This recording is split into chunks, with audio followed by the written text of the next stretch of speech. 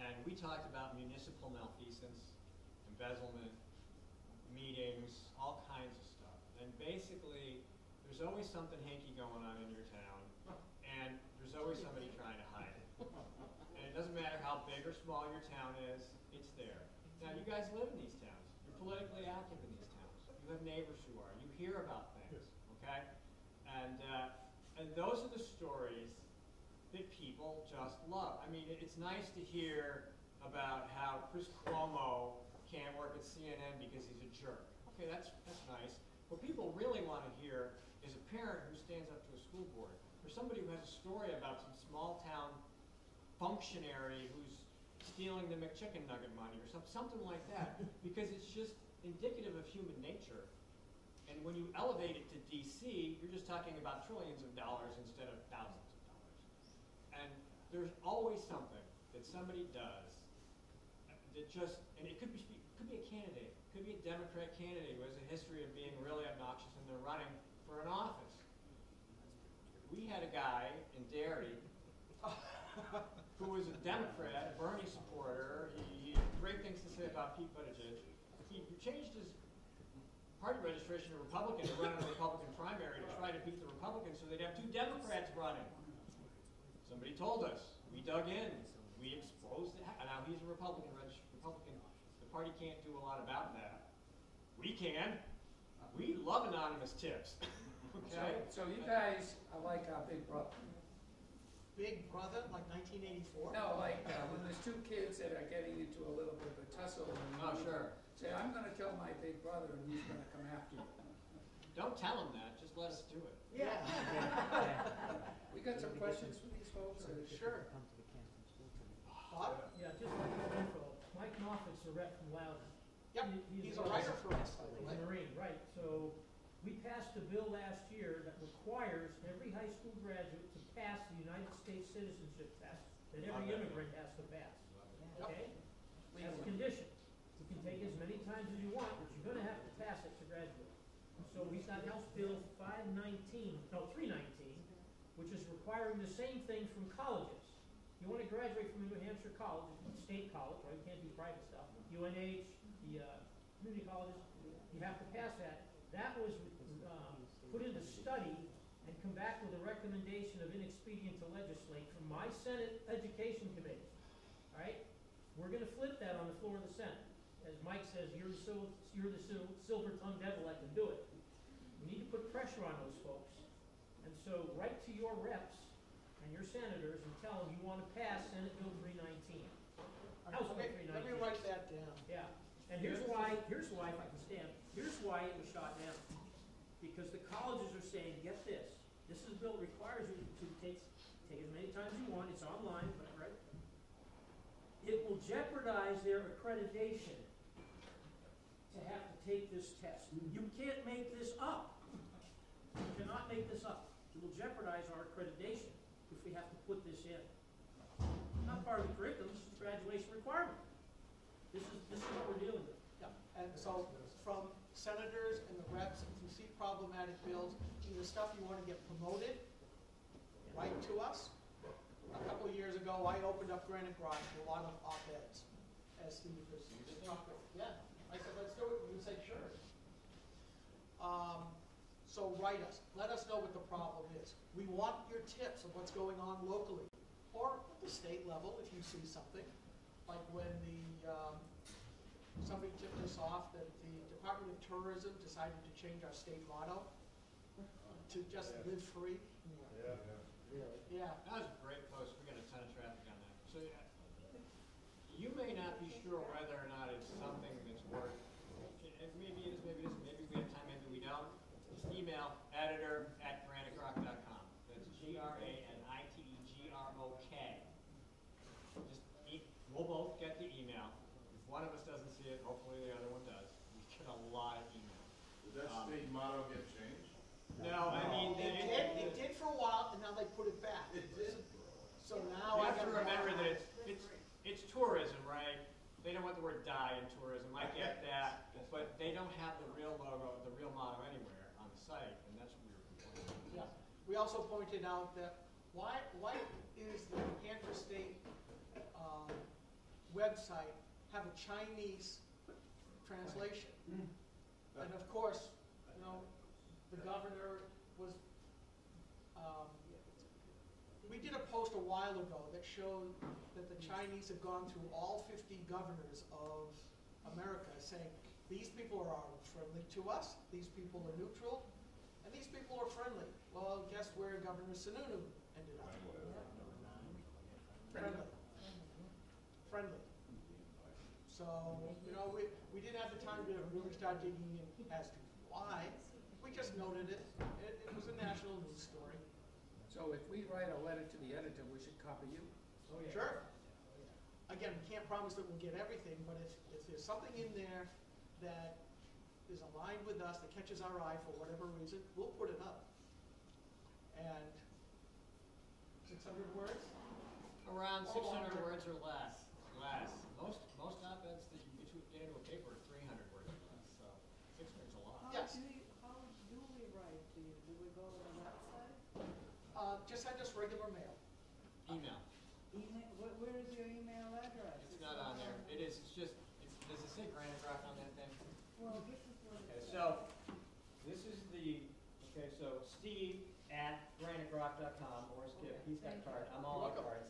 Um, just Steve or Skip, or just write to editor at granitegrok.com, and we'll both. Okay. Uh, More questions? You can always go on the website and our email address is And there too. there, okay. So, you know, we have fun at doing this.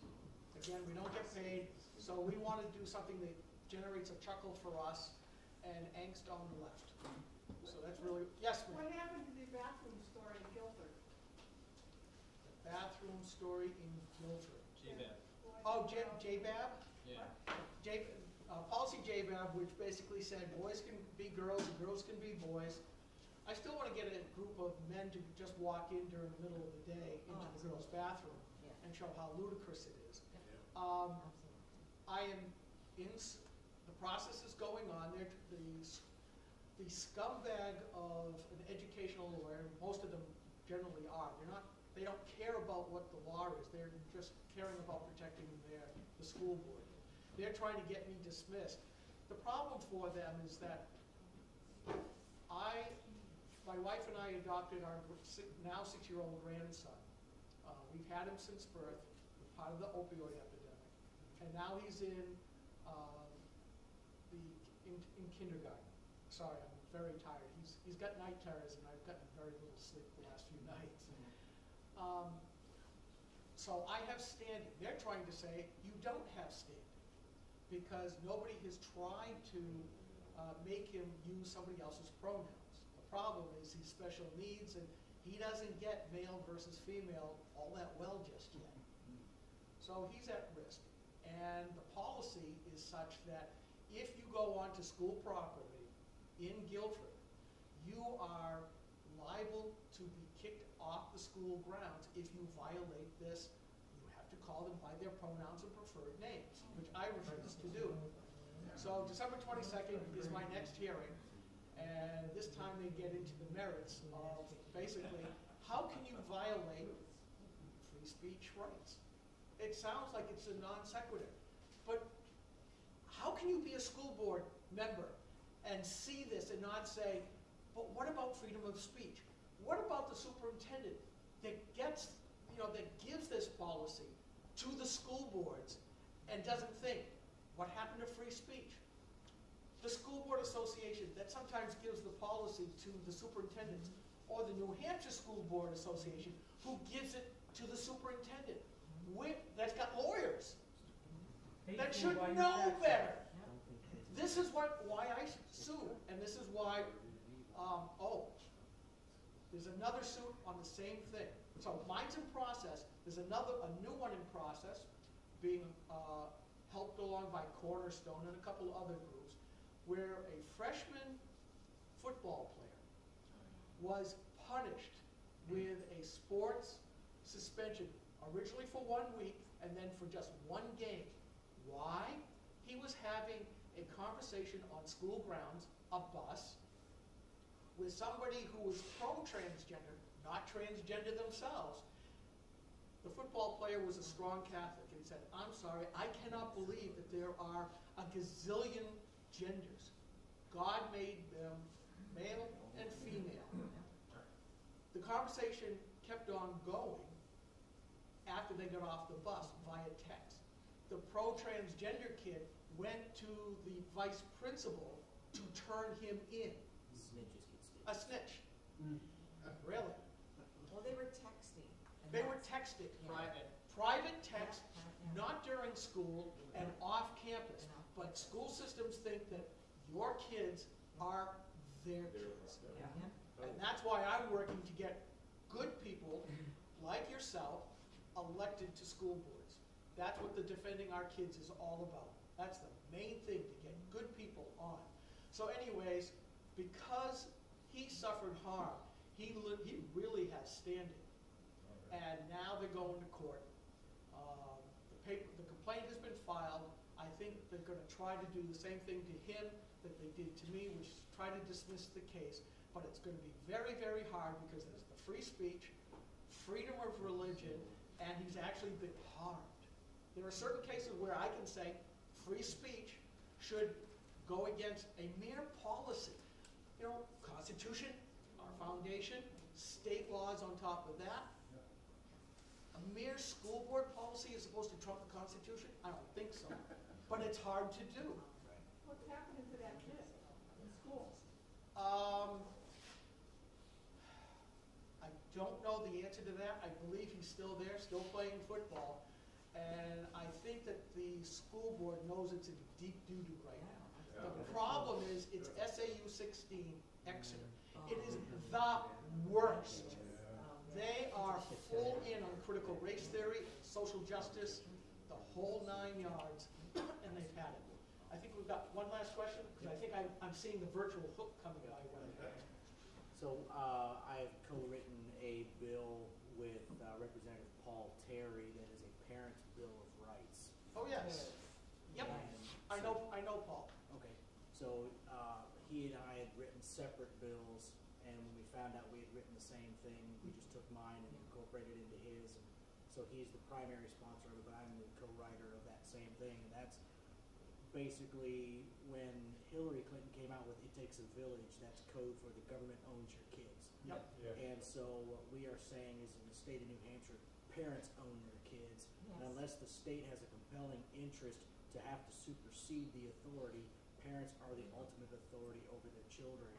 And so when it comes to medical decisions, uh, school, uh, what they're being taught in school like that, I mean, it is, just in case anything happens with the Senate bill about uh, curriculum, it's in the Parents' Bill of Rights, that parents have access to the curriculum as well. Thank So you. you can't go and have medical procedures, you can't go get the jab, you can't get on hormone blockers, anything like that without. Well, I also have another right to know that I'm doing, based on, because you said the, the vax clinics and getting the jab in school. So I've got one in on, on Gilford, on something else, because of the story we broke of the six-year-old kid in Brattleboro, Vermont, Oh, that yeah. got the jab and came home with a vaccine card and a name tag, right first name, wrong last name. And that went national.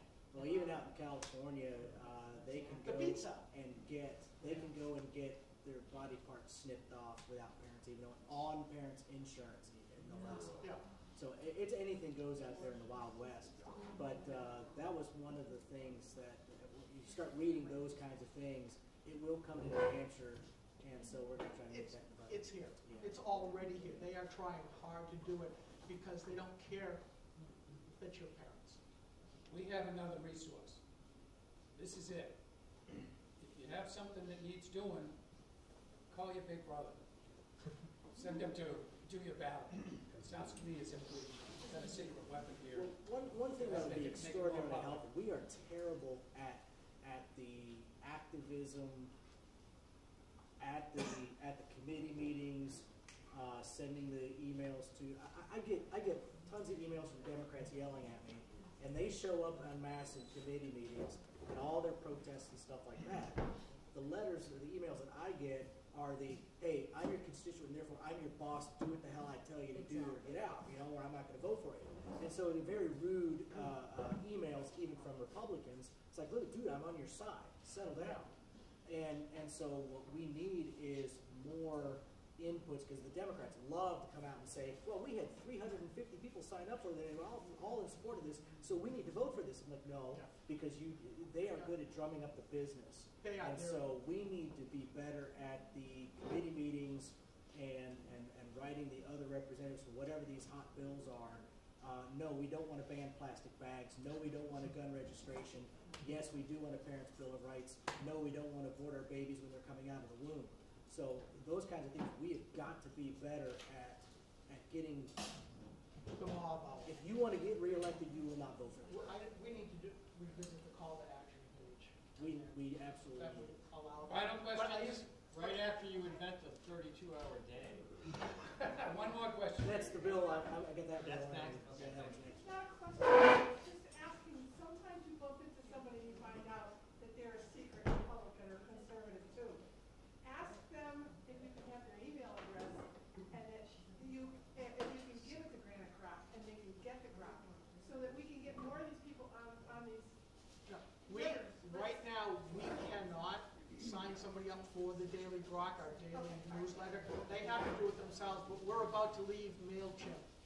Um, and we'll have our own, so we can do whatever we want. I used to get all those kinds of emails. I spent nine years on my SB two budget committee, so I know exactly what this is. And if you have problems with budgets, let me know. I can do that too.